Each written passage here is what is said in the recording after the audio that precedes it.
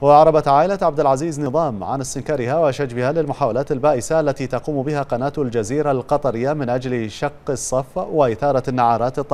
الطائفية بين أبناء البحرين مؤكدة وقوفها صفا واحدا خلف قيادة جلالة الملك المفدى ودعمها لسياسة جلالتها التي تنطلق من مبادئ سامية وحضارية